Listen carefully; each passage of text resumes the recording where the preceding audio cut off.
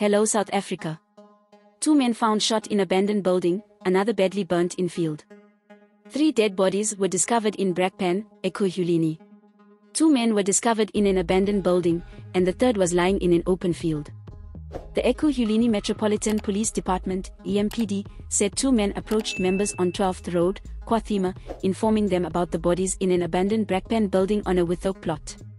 The bodies in the abandoned building had multiple gunshot wounds. EMPD spokesperson Lieutenant Colonel Kelebogile Thepa said the third body lying in the field was badly burnt.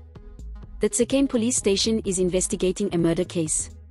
No arrests have been made thus far. Investigations continue. We pay cash for videos. WhatsApp 060 011 021 1. This is Leah for the South African. Please subscribe for more news updates.